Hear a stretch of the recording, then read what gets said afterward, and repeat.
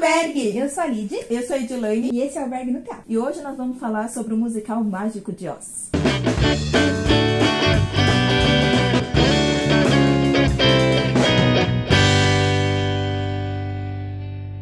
Mágico de Oz é uma obra escrita há mais de 100 anos. Chega em São Paulo agora com uma super produção cheia de efeitos especiais. O clássico de maior sucesso do mundo vem adaptado agora com assuntos super relevantes. Além da mensagem que a própria peça traz, agora essa versão está incluindo assuntos como preconceito e diversidade, mas de uma forma muito leve e divertida. O Mágico de Oz é o clássico que todos nós conhecemos e amamos.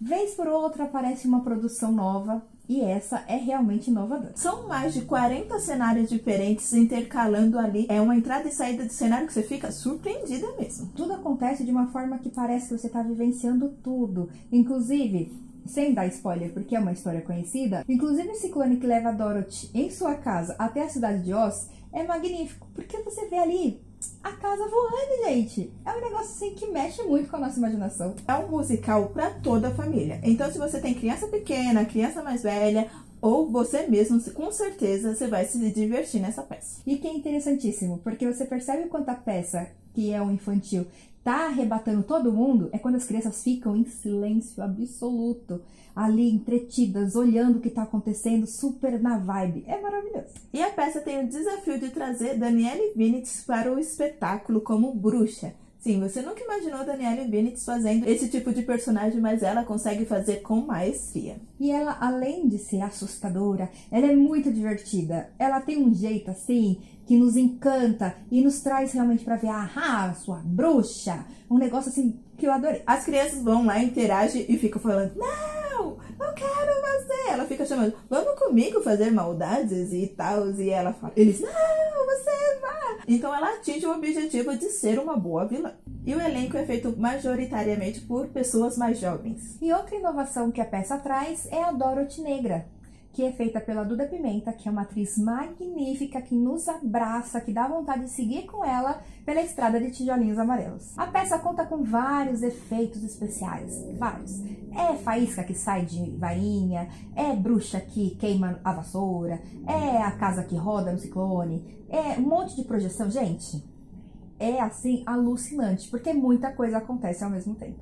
Minha personagem favorita é a Glinda, não é de hoje, e é ainda feita pela Sienna Belli, que ficou a coisa mais, mais maravilhosa, fofinha, coisa mais primorosa. É realmente a Glinda ali, muito linda, além da voz. Ai, eu amei tanto a voz da Sienna. A coisa mais rica do mundo é a minha personagem favorita e olha, tô apaixonada. Além do impacto da entrada dela, porque ela entra em um cenário, gente, belíssimo, que é digno de uma rainha. A história é sobre Dorothy, que ela está na sua casa e de repente a casa voa num ciclone e ela chega em Oz. Só que ela quer voltar para casa dela. Ela tenta falar com a bruxa boa para ajudar, mas ela diz que somente o mágico de Oz pode ajudá-la. E nisso ela vai, vai encontrando pessoas que têm umas necessidades. Por exemplo, o leão, que precisa de coragem, o espantalho, que precisa de cérebro, o homem de lata, que precisa de um coração, e todos eles vão juntos em busca do seu objetivo. O espantalho, interpretado pelo Ivan Parente, o leão, pelo Maurício Xavier, e o homem de lata, pelo Vinícius Loyola. Todos eles são maravilhosos em cena. Eles realmente fazem a gente desejar junto com eles, sonhar junto com eles a conquista dos seus objetivos além da peça ser esse clássico que é muito conhecido, muito fofinho, ela é bastante engraçada e divertida também.